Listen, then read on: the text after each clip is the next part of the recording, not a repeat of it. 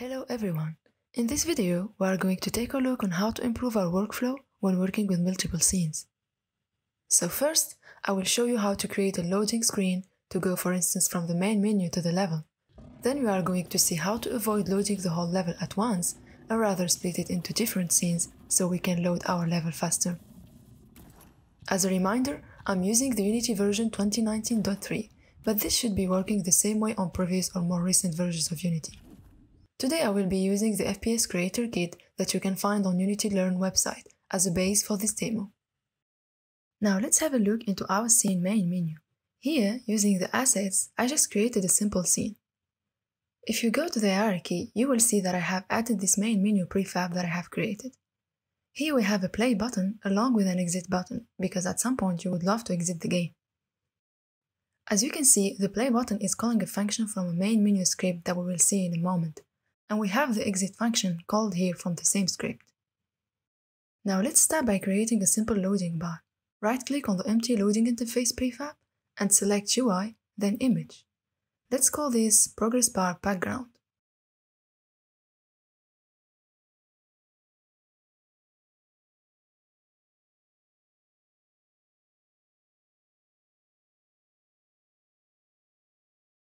And now we are going to duplicate this and rename it to progress bar for the actual loading bar. I will change its color, let's say for instance green, and now we want to see the bar getting filled. I will go to my assets folder, right click and create a new sprite and choose square. Now that I have it, I can go drag and drop it. You can also click here and select it as a source image. By doing this, I now have new options that appeared including the possibility to choose the image type. Let's select Filled. Now let's make it horizontal and from left to right. As you can see, now I can change the amount value and see the progress effect. We can adjust the fill amount later in the code. Now let's go to the main menu script that I have mentioned. First, since we will be using the Scene Manager scripting API from Unity Engine, we need to make sure to add that at the top of our script. Also, we will be using the image type, so Unity Engine UI should also be included. Here I have a reference to the menu game object that I have created, the loading interface and the loading progress bar in the editor. The start game function that we mentioned being called from the start game button is calling three methods. When we want to start the game, first thing we need to do is to hide the menu and then show the loading screen bar that we have created. Here I'm adding the two scenes that I want to load from the main menu to the list of async operations I have created which is called Scenes to Load. As you can see, I'm using Load Scene Async from Scene Manager, which allows me to load the scene asynchronously in the background. The other parameter which I am using is the Load Scene mode, which is set to additive as we want the scene to be loaded along with the gameplay one. Then I start the coroutine loading screen. In here, I have a float of the total progress of all the scenes loading. I start a for loop to iterate through all those scenes, Using the async operation variable, I will be able to access the progress value of the level loading process. And here, we are saying, as long as the scene is not loaded yet, I add its loading progress to the total progress value. After that, I need to divide the value by the number of the scenes to load in order to get a value between 0 and 1. Let's go back to the editor. If we click on Start Game on the menu, we can see the progress on the bar while waiting for the level to load. Now, especially when working with big scenes, having everything loaded at once, even if it's not needed, would take so much time and make the game less performant. That's why an efficient way of loading the scene would be to not load everything at once, but load only the parts that are needed, depending on the player position in the level or the map. So what I did here, I put all the gameplay elements in one scene that I called gameplay, and I split the whole level into different parts and put them in separate scenes. That allows me to only load the ones I need. Now to know which one should be loaded, there are a lot of ways to do it. Today I'm going to show you two of them, and each has its pros and cons. First we are going to check using distance, and then we are going to do it using trigger. Before diving into scripting that, I will show you a visual representation of what we will be doing. Here I have the different scenes of the level. Some are loaded and others are unloaded. The anchors are the positions we will use to calculate the distance between the player and different parts of the map that are separated in different scenes. Now we can see the player and the range which we can adjust its value if needed. As the player moves, we load and unload the scenes depending on the distance check. Let's go back to the editor. In the gameplay scene, as you can see in the hierarchy, I have this scene parts loaders section. This part includes prefabs for each different part of the level. For instance, level 1 part 1 is the prefab that will take care of loading scene level 1 part 1, which is the first part of the level. In this example, there are 5 parts, but of course it depends on your level and your game. If we click on the prefab, its position represents the anchor point for that part of the level as I have shown in the visual representation previously. You can see that it also contains a box collider set to its trigger. I only explained the method using distance. The trigger is another way of loading the level. Instead of calculating the distance to the player, we check if the player is in the trigger to load that part of the level. Added to this, we have a script attached to the game object called scene part loader. Here we can choose the check method, either trigger or distance, and I can choose the range that will be used if I choose the distance check method. Now to better see those positions and triggers in the context of the whole level, let me drag and drop the different parts of the scenes that I have here in the level folder. As you can see, for instance, the collider we see on the level 1 part 1 represents the area where the player will need to be in order for part 1 of the level to load. Same for the other different parts. Now let me remove the scenes. And let's dive into the code and see how it is handled. Before that, Make sure that the name of the different scenes are exactly the same as the names of the prefabs loaders. This is important as we will use them later to load our scenes. In this script, I created an enum check method to be able to easily choose which method to use, so I declared the check method variable here as public to be able to see it from the inspector, and I choose the method from there. I also have a reference to the player and the float load range.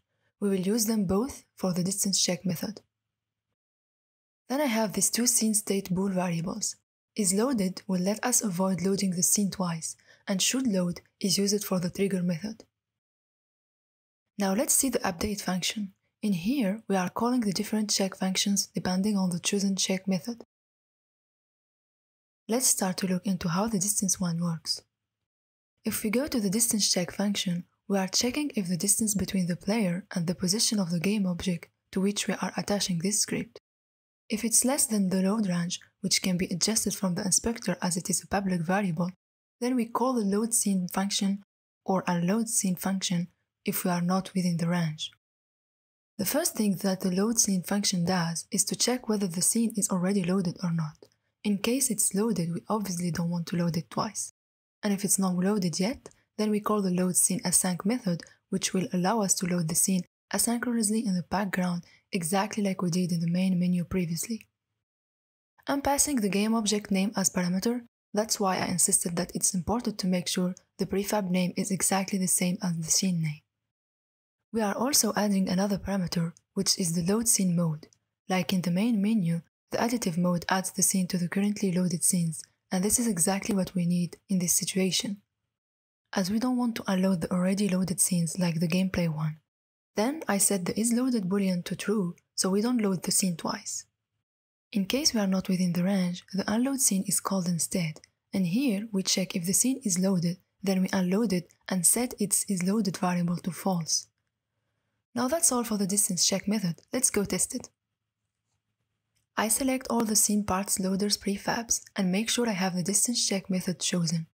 I will put a top view on the scene window so we can better see the loading and unloading of the scenes.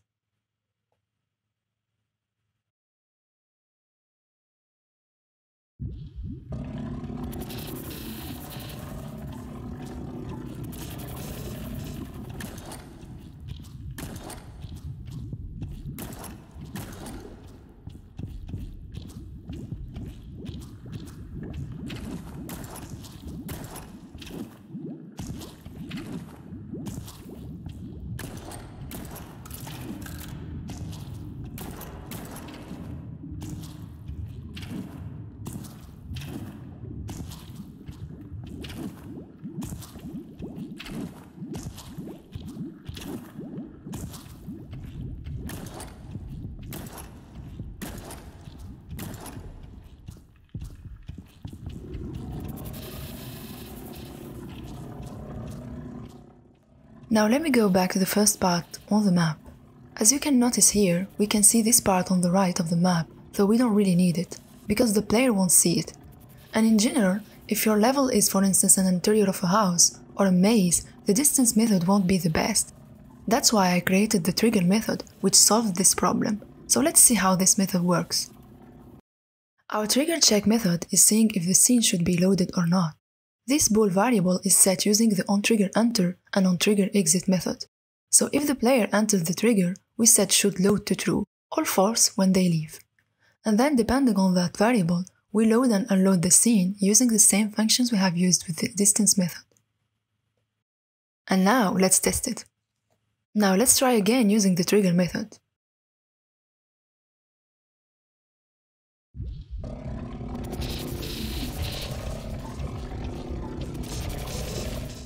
As you can see, when we start, we don't see the part of the map that we don't need. So for this game, choosing the trigger option is better way of loading scenes, rather than the distance one, but this depends on your level and on your game, and that's why I prefer to show you both methods. Now if I drag and drop the level 1 part 1 scene for instance, let's say I want to make few tests. I press play, and we can see that the scene didn't load twice, and that's because I already took care of that on the start function of the scene part loader script. The scene manager scene count returns the number of currently loaded scenes. So if it's greater than zero, I go through those different scenes using a loop and check if the scene name is the same as the game object name, which is again the same as the scene name for that part. So we set is loaded to true in this case, and this will later prevent the scene from loading twice as it's already loaded. This is a way to manage your workflow when working with multiple scenes. That's it. From now on, you'll be able to use it on your games. Thank you for watching and see you soon for another video.